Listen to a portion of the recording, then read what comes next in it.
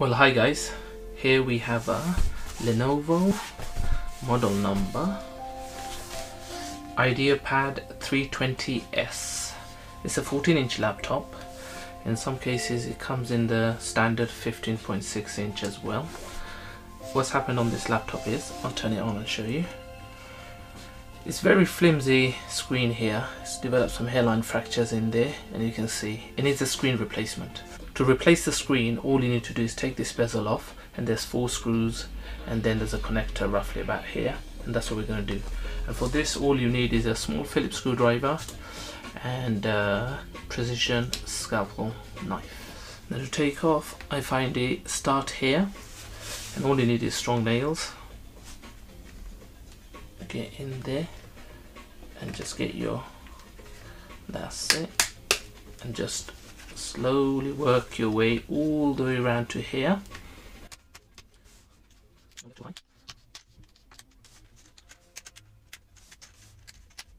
Now be careful when you get to the bottom.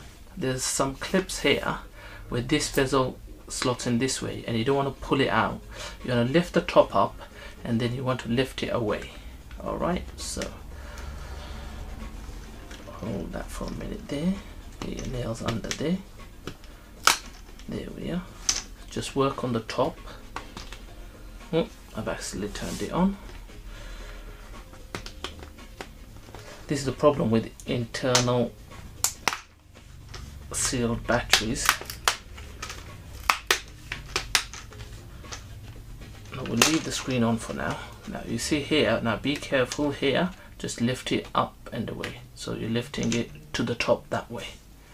There. And that comes away all right put that to one side. So to take it off you've got four screws. And they're very small and shallow. So let's begin.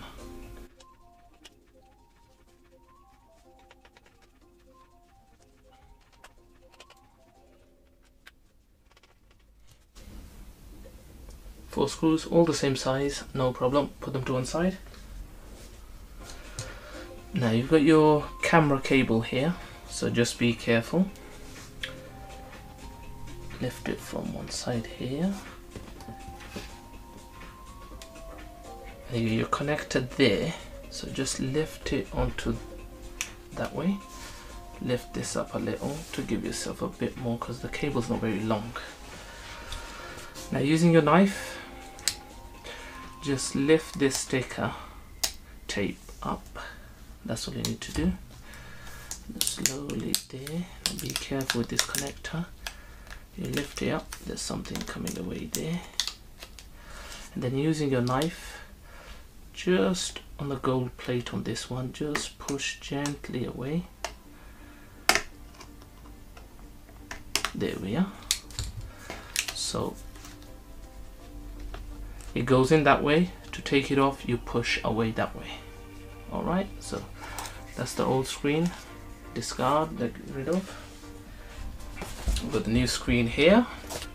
Line it up. Get your cable. Just line it up and it should just slot in. I'm just I like to be careful. There we are.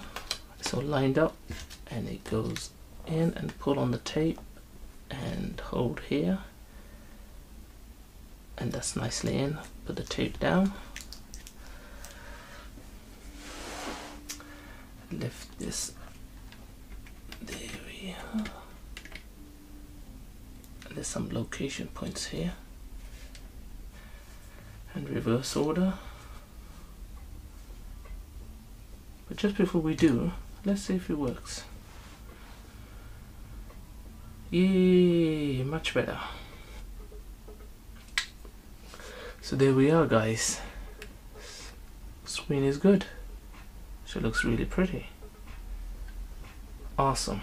Great job. So just got to put the screws back on and bezel. I don't want to put it all back on and then if there's a faulty with the screen, take it all apart again. Very fragile especially the screen on this one probably one of the thinnest screens I've seen. Anyway this is my friend's laptop and he knows I do this sort of stuff and he just asked me Tops can you please fix me laptop or have a look at it? I thought why not? Saves him from spending 400 pounds on another one. And it's a seventh generation so it's not that old and if you guys don't know currently I think we're on eighth generation to the best of my knowledge. So it's just over two years out of warranty. And to give you guys an idea I'm in the UK and this screen was 35 pounds all in postage. So not bad. I'm gonna take this film off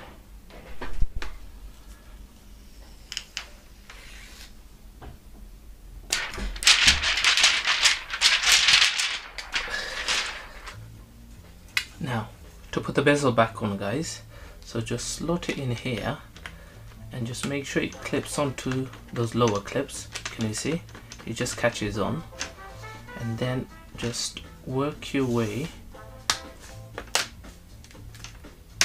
getting the clips to clip back in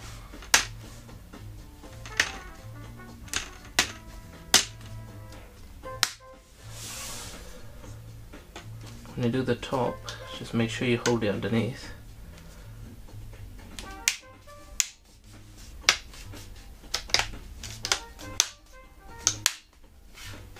And just check. All good. Now we do the bottom. Support it with one hand at the back and just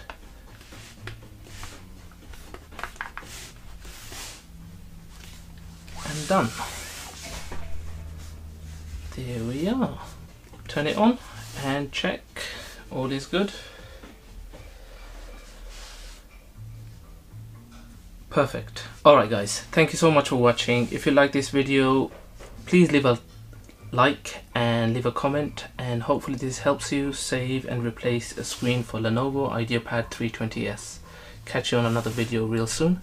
Thank you so much. Bye for now